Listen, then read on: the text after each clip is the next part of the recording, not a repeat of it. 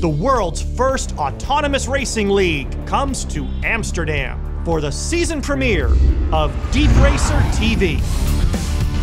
The car knows how to drive itself? This is the point of the reinforcement learning, right? For the last three years, I've been working with machine learning. I know absolutely nothing about machine learning. Developers of every skill level face off in the ultimate machine learning competition. May the fastest developer win. I want this trophy in my desk. I'm Carolina. I arrive early because I want to be the winner. I'm Jesper. I really like speed and trying to push it. My name is Norbert. Bringing high-end technology to a play toy. It inspires me. I'm Casper Meijer. I'm not an aggressive driver, but yeah, I sometimes exceed the speed limits. Who will punch their ticket to Las Vegas and compete for the Championship Cup at reInvent 2019? Two laps pretty close. There it is officially. Most people train the model just to follow the dotted line. You do that, you're not going to win.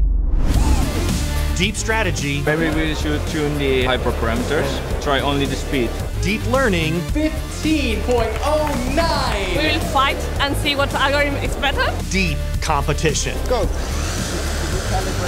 Oh, we are down to just the last two and a half hours. Time, 42.50. 26. 2091. Oh, that's still good. That's still good. Some pretty big stakes here, no doubt about it. Let's see what happens at the end of the day. Looking forward to showing the rest of the world what we Dutch are capable of. Tune in to Deep Racer TV on YouTube.